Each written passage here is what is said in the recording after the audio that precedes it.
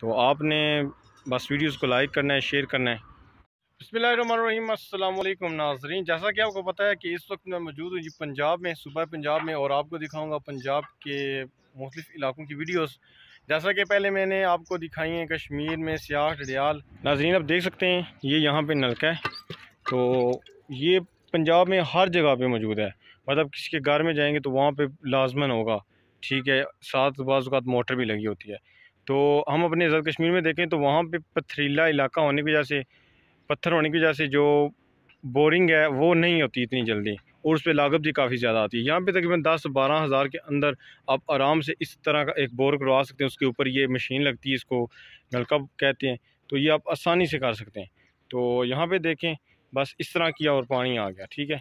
तो मैंने कहा आपको दिखा दूँ, यहाँ पंजाब की ये भी एक खसूसियत है। अभी यहाँ पर मुझे आना था क्योंकि आपको पता है ये मेरा भाई गाँव भी इलाका भी है, पंजाब। तो अभी मैं इस वक्त मौजूद हूँ उस तरफ़ सामने है मोटरवे ठीक है? मैं कर रहा हूँ गाड़ी का वेट जैसे गाड़ी आती है तो गाड़ी में बैठेंगे और हम कहाँ पे जाएँगे? हम जाएँगे फैसलाबाद। फैसलाबाद क्यों जाएँगे? कपड़े लेने की जैसे कि आपको पता है कि फैसलाबाद कपड़ों का गढ़ है और अच्छा कपड़ा और मुनासब कपड़ा कीमत में भी और चीज़ में क्वालिटी में भी वहाँ से मिलता है। तो अभी मैं जाऊँगा फैसलाबाद। तो आपने ये वीडियो मुकम्मल देखनी है, ताकि आपको भी कुछ इन्फॉर्मेशन मिल सके। और इस तरफ़ देख सकते हैं, इधर है मस्जिद शरीफ। तो यहाँ पे हम करेंगे नमाज़ जहर अदा। और इस तरफ़ जो वो रोड आप देख रहे हैं, वो जाती है खानगा नोगरा रोड। जो आदमी या आवाम यहाँ पे आती है, जिनको पता है, उसको, उनको तो पता होगा। ये खानगा डोगरा रोड है। ये इस तरफ़ से जाती है हाफिज़ाबाद की तरफ़। और इस तरफ़ जाती है खानगा डोगरा की तरफ़। और ये इंटरचेंज है। यहाँ से मैं बैठूँगा और यहाँ से जाऊँगा फैसलाबाद, जिससे फैसलाबाद का पुराना नाम है लाइलपुर तो हम जा रहे हैं जी लाइलपुर आपने वीडियो मुकम्मल देखनी है। अगर चैनल सब्सक्राइब नहीं किया तो उसको ज़रूर सब्सक्राइब करना है।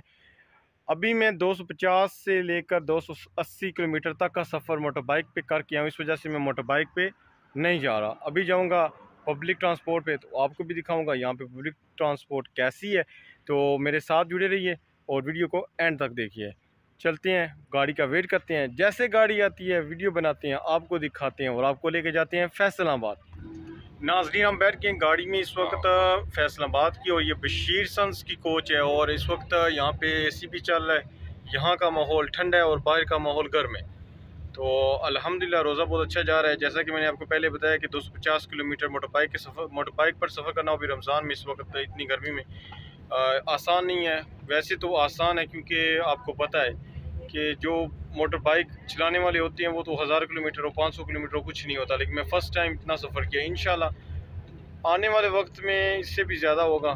तो अभी फैसलाबाद चलते हैं और आपको दिखाते हैं फैसलाबाद का कपड़ा। आपको पता है कि फैसलाबाद कपड़े का गढ़ है। तो मुझे कुछ कपड़े लेने थे ईद के लिए तो मैंने कहा चलते हैं फैसलाबाद पंजाब आए हुए हैं तो फैसलाबाद जाके कपड़े लें ना लें तो मज़ा ही नहीं आता। चलते हैं अभी तो आपको भी दिखाते हैं ठीक है? तो अभी हम रेस्ट करने लगे हैं जब तक ये फैसलाबाद पहुँचती है तब तक हम अपनी नींदर पूरी करते हैं।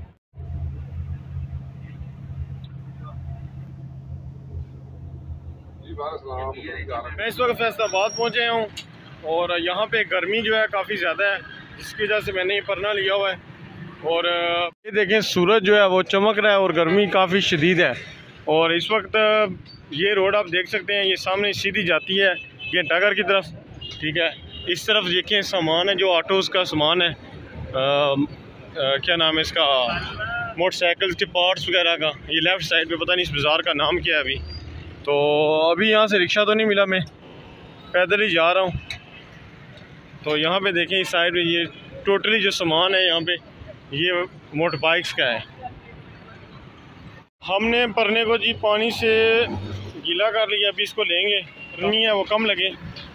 गर्मी से बचने के लिए परने को हमने गीला कर लिया है। अभी जा रहे हैं ये देखिए बिल्कुल पानी बिल्कुल ये पानी से भिगा हुआ है। और मैं अभी जा रहा हूँ गेटाघर की तरफ़ और फिर आपको दिखाते हैं फैसलाबाद में कपड़े की मार्केट्स और यहाँ पे क्या रेट्स हैं आपको वो सब चीज़ें बताऊँगा। आपने व्लॉग जो है वो एंड तक देखने हैं। तो यहाँ पे ट्रैफ़िक काफ़ी ज़्यादा है। आ, देख सकते हैं आप। और इस तरफ़ टोटली जो सामान है वो ऑटोज़ का है वो लेफ़्ट साइड पे। अगर आप घंटा घर आएँ तो इधर एक पूरी मार्केट है और ये जो जितना भी सामान है आपको नज़र आ रहा है ये सब ऑटोज़ का है। ईद की वजह से यहाँ पे बहुत ज़्यादा रश है। इस वक्त मैं मौजूद हूँ घंटाघर मार्केट में और आप इस तरफ़ देख सकते हैं स्टॉल्स वगैरह लगे हुए हैं सब। और यहाँ पे रश बहुत ही ज़्यादा है। और इस तरफ़ आप देख सकते हैं, यहाँ पे भी जूतों वगैरह के स्टॉल्स लगे हैं सेल्स वगैरह लगी हुई हैं। और ये बाज़ार बहुत ज़्यादा बिज़ी है इस वक्त। यहाँ पे आपको हर चीज़ मिलेगी, ये देखें माशाल्लाह कितनी खूबसूरत यहाँ पे खजूरें और इस तरफ़ है घंटाघर वो सामने देखें, वो जो आपको क्लाक नज़र आ रहा है, ये घंटा घर है। हम चलते हैं इस तरफ़ और आपको दिखाते हैं और ख़ुद भी शॉपिंग करते हैं।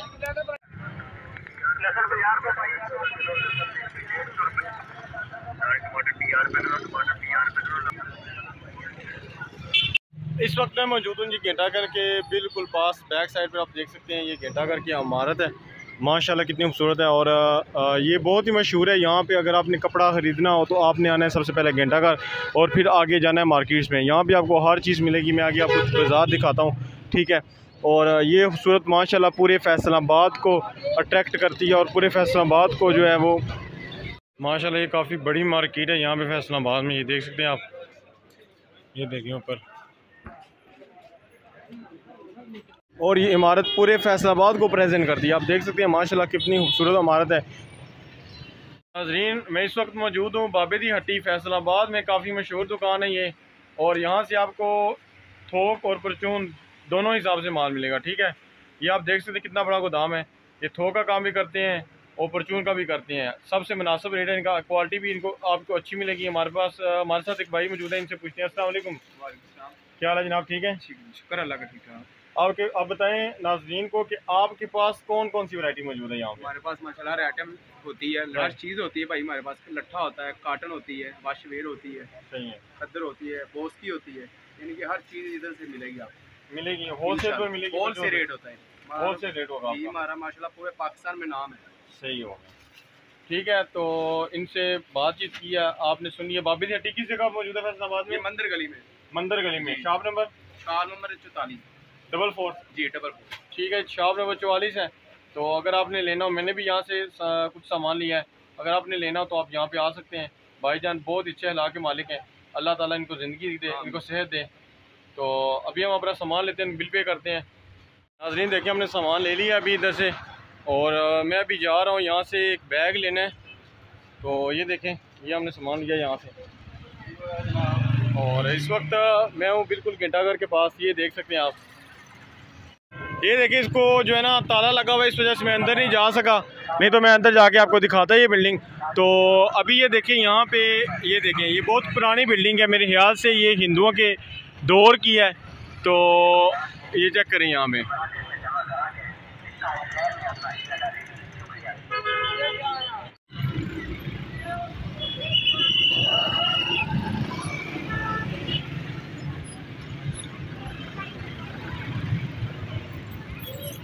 नाजरीन, इस वक्त मैं आ गया हूँ अपने दोस्त के पास, रहमान साहब के पास। ये यहाँ फैक्ट्री में काम करते हैं। तो मैंने इनको बताया था कि मैं फैसला फैसलाबाद की थी कि हमारे पास आना है तो मैं इनके पास आया तो अभी ये कह रहे हैं कि आपने अफ्तारी करके जानी है और सुबह आपने जाना है।